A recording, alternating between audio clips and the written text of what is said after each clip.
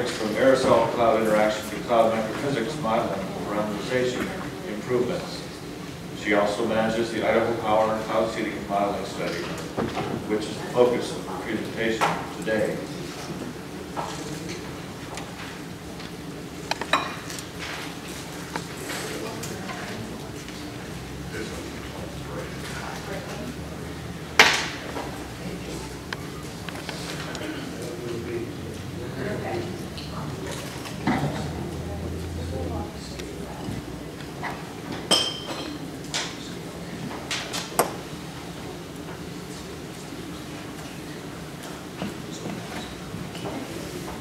Good morning. Can everybody hear me okay? Thank you for accommodating my travel troubles that I had and moving me to today. So I'm going to be talking about some of the work that we've been doing with Idaho Power. I'd like to acknowledge my co-authors on the slide, Lynn Xue and Roy Rasmussen from NCAR, as well as our fellow colleagues from Idaho Power. They're representing them today for us. Uh, we've been working on some modeling work for the winter orographic cloud seeding that they do, so we're going to switch from some of the summary convective talks of this morning now to winter. so the motivation for us doing this work was threefold. First of all, we wanted to see if we could develop a system that would automatically declare and execute cloud seeding simulations in a real-time forecast model. So Idaho Power has been working with University of Arizona for quite a while to run a real-time forecast model to help guide their operational seeding, but it has never explicitly forecast the seeding signatures itself. And so that's what we're going to do um, using the new silver iodide seeding parameterization that was developed into the WRF model, the Weather Research and Forecast Model, by Lu and Xue and other co-authors, built off of um, Akihiro Hashimoto's model, as well as in collaboration with the Wyoming Weather Modification Program and the Idaho Power Program. I'll talk just a little bit more about that parameterization in the next few slides. But some of the other benefits for having this in real time then is that we can estimate the potential precipitation enhancements from a given seeding period prior to that event using this forecast. And then that can then provide guidance to cloud seeding operators on those potential seeding opportunities. It can help guide them in times to look for and turning on seeding, the method of seeding, whether it should be ground-based, airborne, or a combination of, the two, um, which location, in the case of Idaho Power, I'll show you there's three different target areas that they're working on, and so we can look at which is the best location for a given time and so forth. So to go over briefly um, a little bit about the seeding parameterization, there's two papers that are coming out in the Journal of uh, Applied Meteorology and Climatology. Um, Lulin is the first author of those papers. So that describes this parameterization in much more detail. But this um, parameterization does have several key microphysical um, features. First of all, it can simulate the fraction of silver iodide that nucleate ice crystals by four of the, the four nucleation modes, deposition, condensation freezing, contact freezing, and immersion freezing.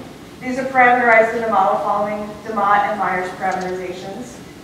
It also simulates the scavenging of silver iodide by cloud droplets and ice crystals following Caro. It can also activate cloud droplets on the silver iodide, as, so they serve as CCN in some situations due to their soluble fraction from the burning of the seeding solution. And the cloud seeding parameterization has been coupled in the WRF model in the Thompson microphysics seed. So that's the key microphysics seed we need to use with this seeding parameterization. This diagram is taken from Xue et al. 2013, just kind of showing all the different pathways, microphysical pathways that take place in the model for these new species that were added to track the silver iodide, both in dry form, which you can see here in the center, and then in each of the different um, hydrometeor species, like raindrops, ice, snow, graupel, and cloud droplets. So we include things like scavenging, melting, riming, the different nucleation modes of immersion freezing, contact freezing, and so forth. Just to kind of give you a quicker glimpse at how this model works, I'm going to show you an animation here where we're simulating an aircraft track flying from the um, northeast to the southwest here, and then it turns around and flies back towards the northeast. As this animation goes through, these light blue colors that you see are the concentration um, contour of the silver iodide. The yellow contours are then ice crystals, and then you'll see some green here, which is the actual snow. Now, I want to point out, we've changed the contour level on this to be pretty high because there was some background snowfall occurring on this day. So just because you don't see very much green doesn't mean there wasn't that much snow falling.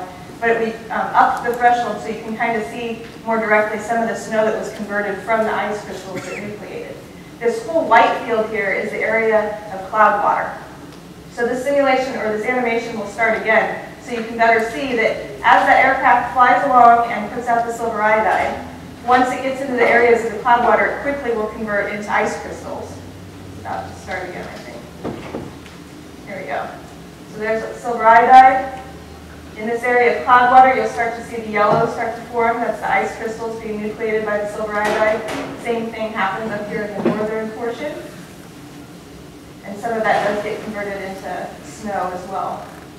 And one other thing that I would like to point out is that downwind, you'll see some of the um, silver iodide show up again. Let's see if it's going to happen here at the end. Yeah, here we go. And this is just a process of, as it's evaporating back, you're getting those silver iodide particles. So the, those silver iodide particles are tracked all the way through the species, both in the wet form, in cloud droplets or other type of hydrometeor species, as well as back in the dry form. Sir, what's the topography? What's this topography? Yeah, what are we looking This is a case from Wyoming. I'm trying to remember, and I'm not as well versed on where it is. Is it the medicine bows? It kind of looks like that might be on mountain. Yeah, it, it was, we did this specific run in the, I think in the LES version that he was running for one of the case studies from Wyoming. Thank you. Just to put it, and this is just an artificial flight, because you guys didn't do any flights. We just wanted to kind of show more um, explicitly how this converts more directly.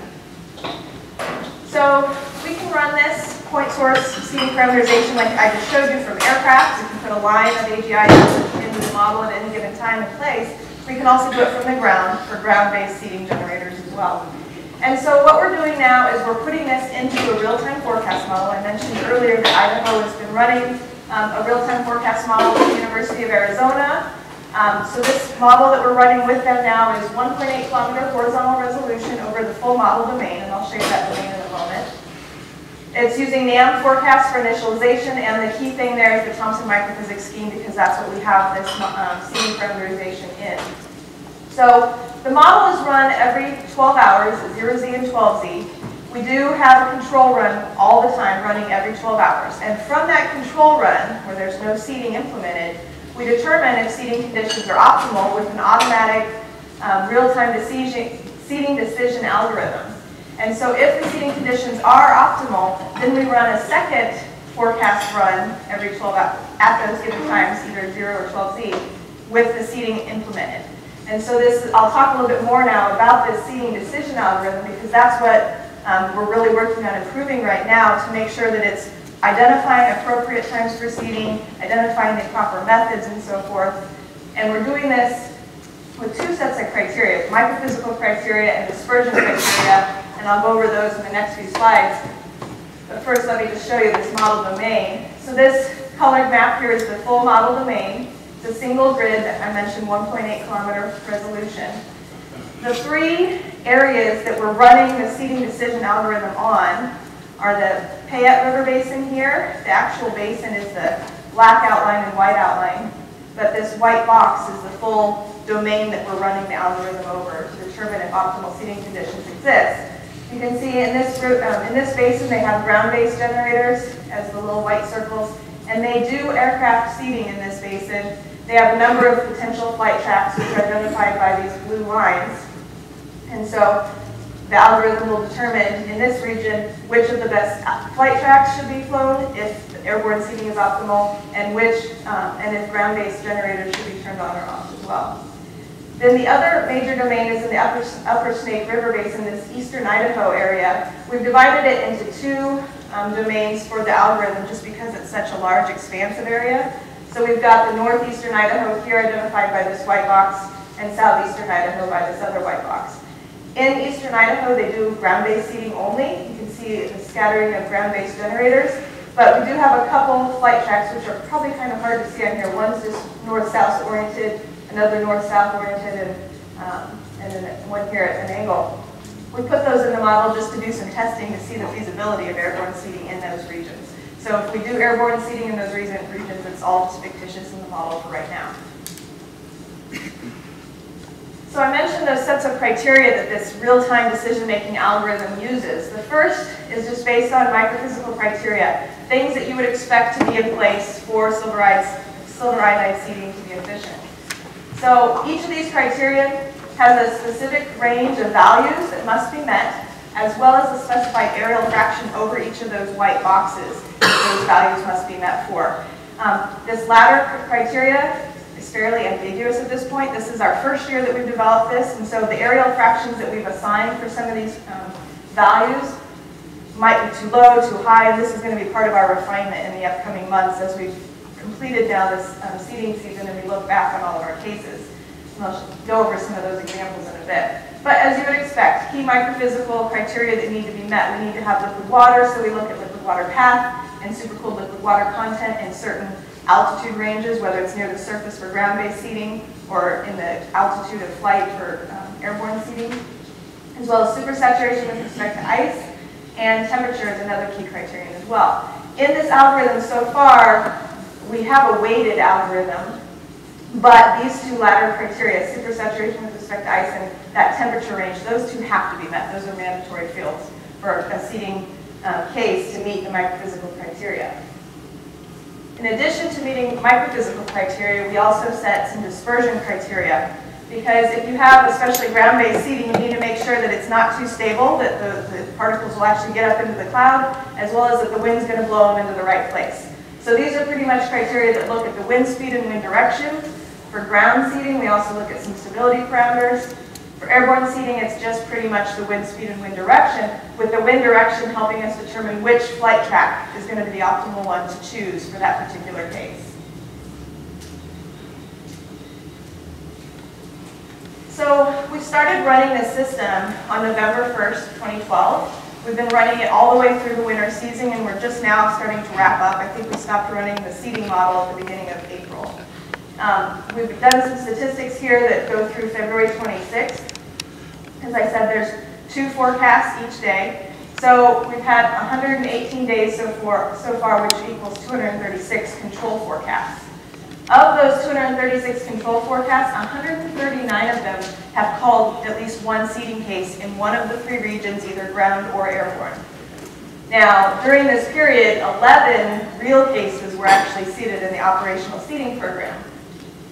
Don't be too alarmed by this disparity yet, because a real seeding case typically lasts 12, maybe 24 hours or more, whereas this seeding forecast is run every 12 hours out 48 hours. I did forget to mention these are 48 hour forecasts that we're looking at. So if a seeding case is being very well forecast, it can show up in multiple runs of that forecast. And I'll give you an example to show you when that happens. So this is a little bit inflated due to this duplication of running a new seeding forecast every 12 hours out for 48 hours.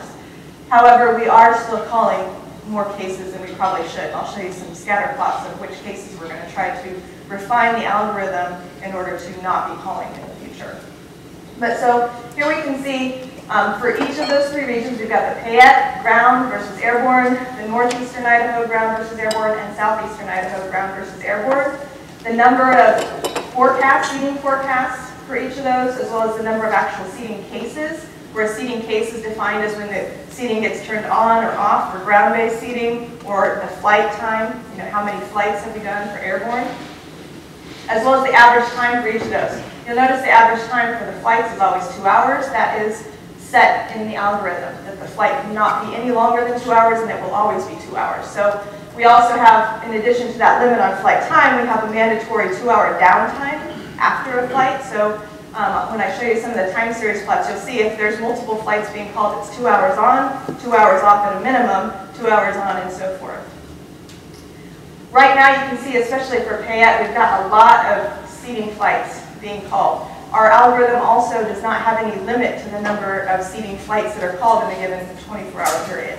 That's probably not realistic. We've talked with Idaho Power about in this future um, iteration of the algorithm, refining that to make it a little bit more sophisticated so that we're not telling the pilots to go up and fly four or five times a day and trying to choose maybe the best one or two cases. Because if we have a really long optimal seeding period, our our algorithm doesn't know we should only do one or two flights, and it just picks the first one, up two hours, down two hours, up two hours, down two hours. Most of our ground seeding, you can see average time ranges anywhere from 10 to 12 hours, which is pretty similar to some of the ground seeding real cases, although some of the real cases often go up to 24 hours if it's a really long prolonged event. But again, these are just average times. So I wanted to show you uh, a couple examples. This first example I'm going to show you was from December 12th, and it's a good example to walk you through how the algorithm and the forecast um, works out well in advance of an actual case.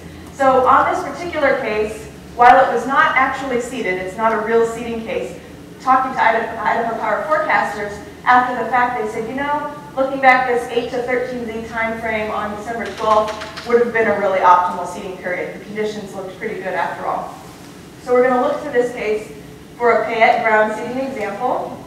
Um, this, for, this first time series plot that I'm showing you is for the 48-hour forecast that starts at December 10th at 12Z. So this was the first forecast that showed this optimal time window of 8 to 13Z, which I've outlined here in the magenta box. And this time series is showing you hour 3 through 48 in that 48-hour um, simulation that started at December 10th, 12Z.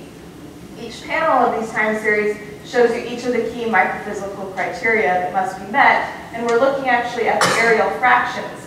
So the areal fractions um, of, say, liquid water path that's greater than 0.01 milliliters, for example. And the dashed lines on here indicates that areal fraction threshold that must be met. And I mentioned earlier that that's fairly arbitrary right now, so we're, we're doing a lot of analysis on these type of plots to see, are we meeting those areal fractions very easily, maybe too easily, and so forth, so that maybe we need to up them if maybe that would help us remove some of the more moderate cases. As well as we're going to be investigating some of our actual thresholds themselves, like our temperature range probably is, we've decided is probably a little bit too broad and includes a little bit too warm of temperatures. Um, this is some of the analysis we'll do as we refine the algorithm. But anyway, on this case, you can see in this optimal time window, at 48 hour forecast, this model is doing a pretty good job of forecasting all the, micro, all, all the microphysical criteria is being met. Now, if a case was being called, it would show up in here as a, as a shaded in gray area. The reason why we haven't called a seeding case in the model for this particular period is the dispersion criteria wasn't met yet. But the model is doing a very good job, 48 hours in advance, of letting us know that the seeding criteria, microphysically, is looking pretty good. If we move forward 12 hours, that 12-hour window here, you can, or that 8 to 13Z window is moved forward a little bit.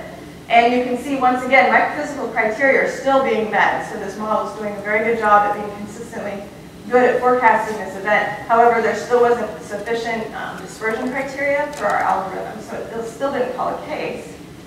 At this same time, let's take a quick look. Oh, let's, okay, let's move forward. Oh no, this is the airborne one, but you can't see the gray. This is, Derek, this happened in some of our conference calls and meetings. Um, well, this kind of stinks. Um, so let me try to walk you through what we should be seeing here. This is the exact same time we just looked at, but it's for the airborne seeding criteria. And there should be a very thin Actually, there should be three very thin gray bars that span two hours, down two hours, and then two hours, that pretty much cover this time period here. If you look at these peaks, yeah, I don't know if dimming the lights is going to help, because I just do not see it on the screen at all. I see it on this screen beautifully, though. don't know why that happens sometimes. Um, actually, yeah, I'm going to use this to help guide. So at just before hour 33, there's one at um, right here at the end of this, circling this magenta line here, there's another small band, and then just after hour 39. So this was an example actually where there were three flights being called. Again, each one kind of aligns with these peaks in this particular criteria, if that helps as well. Because these um, seeding criteria were being met over an uh, extended period of time, but we have that case being limited by two-hour flight. So what we've decided is what we'll try to do as we make this algorithm more sophisticated is create a way for the algorithm to look through at the whole seeding period and determine the best two, maybe one or two times, rather than just choosing the very first one, you know, as soon as it meets the criteria and calling a flight, maybe it should hold off and wait for one of the later periods. Ask a question, Grace? Okay. All right, so once again, we're moving 12 hours later, this is looking at ground again. And unfortunately, you can't see the really thick gray band that starts at about uh, 17 hours in the algor in the forecast period and goes out to about 37 or so here. So it's a very long, wide gray band that covers. Check, check if you can, if you quit the show mode, probably will, will show it smaller. No, that doesn't help. I don't know. I don't know why it does that. Because I'm not using a Mac. This is actually a PC now too, so it's just the figure. Or the, the way the projector doesn't like to see that color. Yeah. Um, anyway, so we've got a very long, extended ground-based seeding case being called by the model in this forecast, which this forecast is now um, December 11th at 12Z. It fully encompasses that optimal period that the operational forecasters identified. And so again, the models continue to perform very consistently at identifying the microphysical criteria, and now the dispersion criteria have been met, and thus this model forecast had a seeding case called. If we move 12 hours forward again, we would still have a case that's starting from about five hours and going out to about 24 hours in the forecast, fully encompassing that optimal time period identified by the forecasters. So now this is two seeding forecasts being called just for this one case. So this is another example of where we have this duplication in our, some of our current statistics. Uh, but the model's still continuing to perform well. If we look at it for aircraft, we have actually only got one seeding flight now, and it's just here at the end of the period at about, um, just basically encompassing this last magenta line here, this two-hour period around 12 to 14 hours in the forecast. So they've actually, so because the um, airborne criteria were reduced a little bit, they only called one flight in this particular forecast run. And this was at 12, or December 12th at 0Z. If we moved forward, I'm not going to show the next one, but if we move forward to 12Z, then the optimal time window, it would be, the forecast would have started right in the middle of it, and we did call another case for that one, but it was much shorter because we were already in the middle of the, of the case period. So looking at some of the results from this case, I mentioned earlier one of the benefits of running this model in real time is we can actually simulate what the precipitation enhancement would be even before the event happens. And so this is looking at um, a map of the precipitation change difference between control accumulated precipitation and, and the precipitation in the seeding simulation for the 20 or the 48 hour period that began on December 12th at 0Z, so the plots that we just showed. So this includes that one really long ground seeding case and one airborne flight for the Payette, as well as it did have some seeding over here in eastern Idaho. But I'm just going to focus on the Payette since that's the plots we were just looking at. So there was actually an increase in precipitation from the simulation of um, 1637 acre feet, which would be a 16% increase over the control precipitation within this Payette area. Um, and I already mentioned, yeah, that included the ground seeding from 6Z to 1Z and one two-hour flight.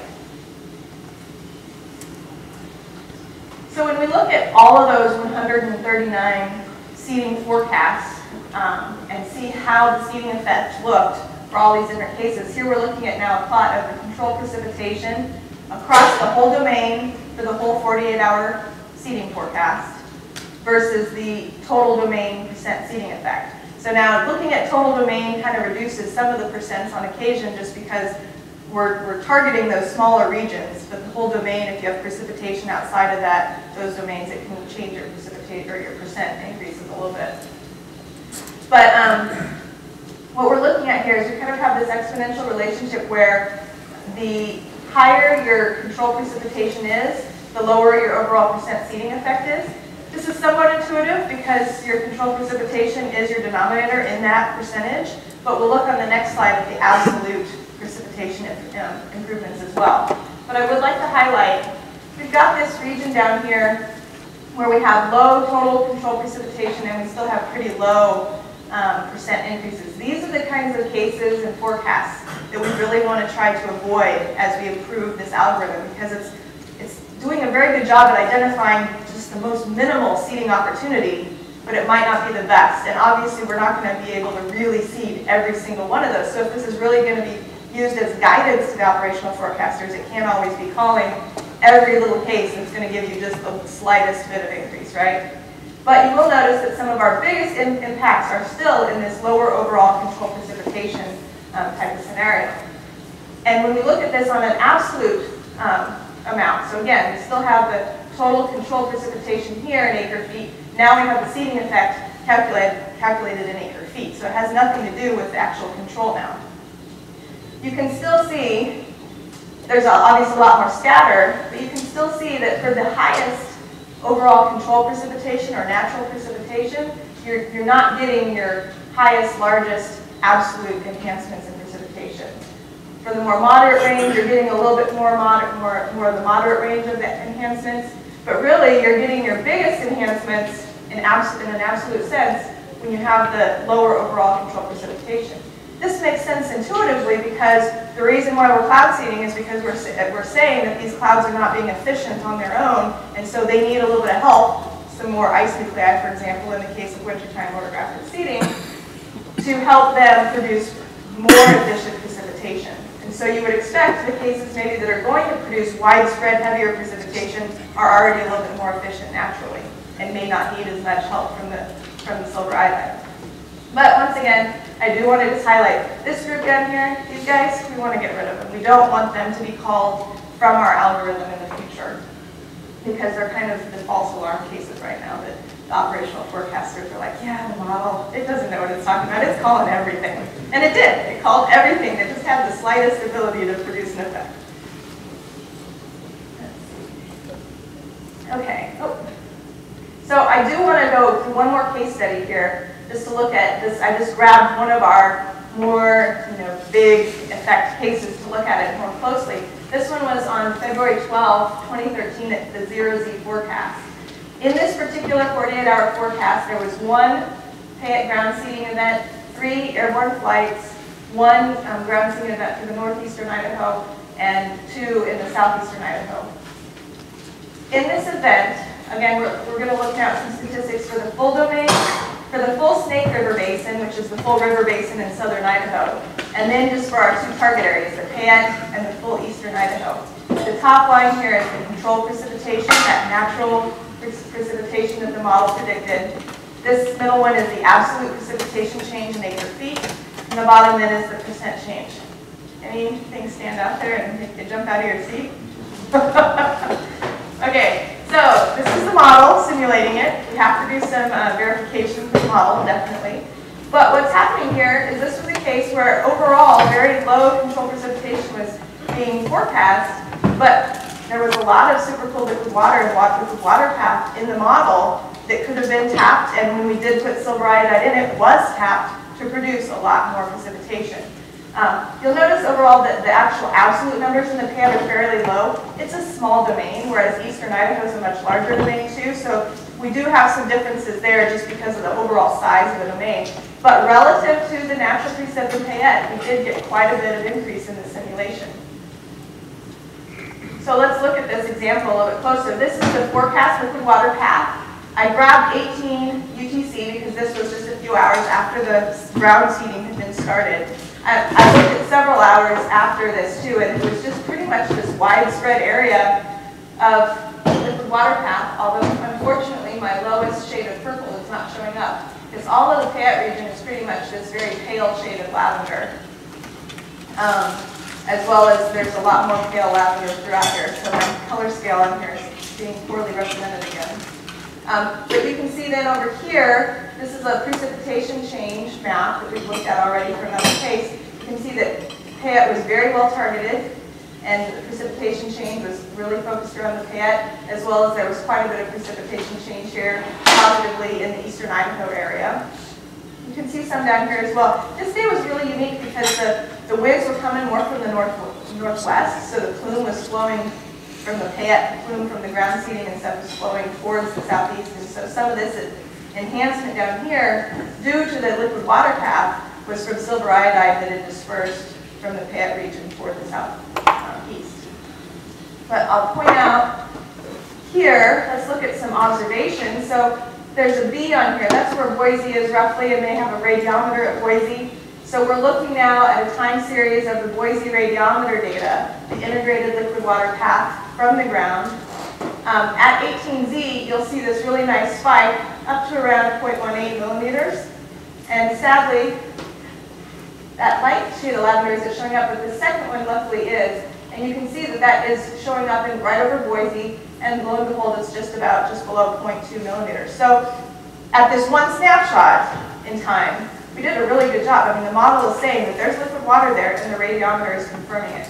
There's also um, radiometers at Mud Lake and Afton, so we have three radiometers in the full domain to do these kinds of analyses to help verify the model, as well as we have snow gauges and soundings to help do some more verification.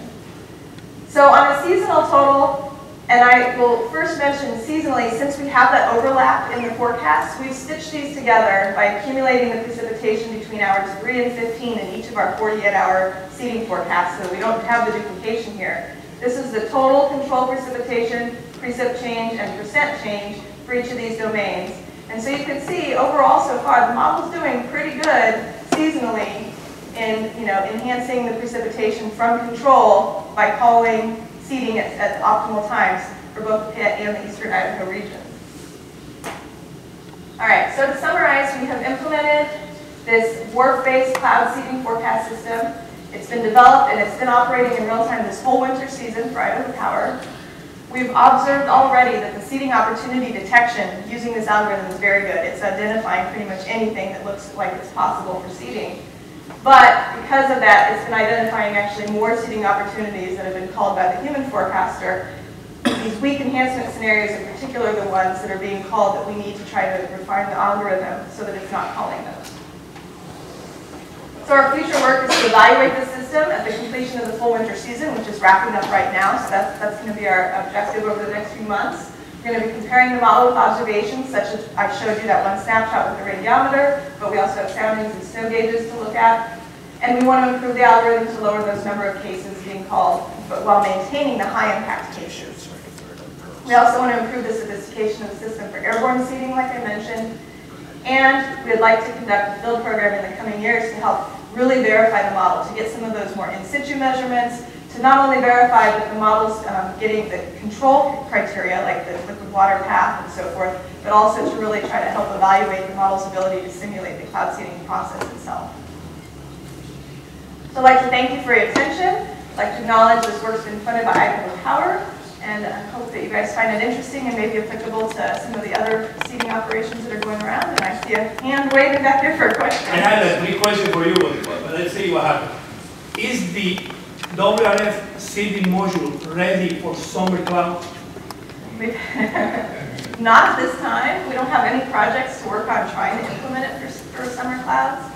But summer clouds that are being simulated by silver it's, there's potential. The, the biggest challenge there, I think, will be in the model's ability to forecast summer clouds. Because with winter orographic, you get the nice synoptic forcing, and so the model in general does a pretty good job in forecasting those. Summertime convection is so much more random that as a real-time forecast model for summertime convection, I think it would be challenging. As a way to retrospectively analyze cases from summer, there's, there's probably maybe a little more promise there because we could set things up in a more idealized fashion based on just a sounding from that day or something. Second, second, how, how is the model dealing with ice aggregation? I didn't see in the slide the dimension of ice aggregation. It, it includes aggregation. Mhm, Yep, it's included. It, so the ice crystals aggregate to snow, just like, one thing I didn't mention, why we're using Thompson microphysics, and Thompson microphysics includes all of those processes, especially aggregation to snow. The reason why we're using Thompson is because it's been developed primarily from the um, aviation icing industry, so it's been developed to be able to be able to forecast both wintertime um, scenarios as well as supercooled liquid water. And a lot of other microphysics packages don't forecast the supercooled liquid water as well, and of course that's key to the cloud seeding process. And so that's why we're using that particular one as well. Thank you. Bruce? Um, I like your approach, Sarah, to uh, uh, quantifying the effectiveness of ground-based aircraft seeding. But I'm wondering, given your approach, if we can maybe extrapolate from that and look at the duration of airborne opportunities and use that to work backwards to see if and when it would ever be worth having more than one aircraft. That's also, yeah, sure. And, th- and this is something, so the algorithm, you know, like I said, for even the other regions that were, they're not doing airborne seeding, it's more just to kind of test the feasibility of how often are the conditions better there. In, in the um, papers that I mentioned, the- the Xue et al. papers that present this algorithm, or not the algorithm, but the seeding parameterization, we've done a lot of sensitivity studies, and one of the key things that we found is that airborne is much more efficient in targeting the precipitation enhancement to your region because you can get the airplane right in, close to the region, in the optimal seeding, you know, um, temperature and, and, and liquid water content, whereas the ground-based plume, you're kind of much more at the whims of the wind and, and it disperses much more broadly and, and so forth. Downside is there's cost and, you know, and the limits on time. So you can run the ground-based seeding generators for quite a while. But- A couple comments. Can you compare the water content versus the amount of control precipitation? I think you're kind of doing it indirectly, that the big uh, precipitation events are not uh, much liquid water. You can enter into comparison there. Secondly, you're showing downwind effects cloud in a positive sense. I think that's probably an important point to make, and if you could aggregate how often that's occurring and maybe under what conditions, it would help Joe Golden write his paper about downwind effects of cloud seeding. Yeah, we've definitely, Lulin has been working on that with the Wyoming projects too, I believe. And uh, that's one benefit of the model is you can see where the AgI disperses to. If it's not just in your target region, which is, you know, there's no boundaries in the atmosphere that says it has to stay there. And you can see what those effects are. And it generally is fairly positive. The more unstable the wintertime scenario, more convective and unstable it is, the more that we'll see a little bit more noise in the model as far as the positive negative response. But it's not, we've never seen a widespread negative uh, response. Thank you very much, sir.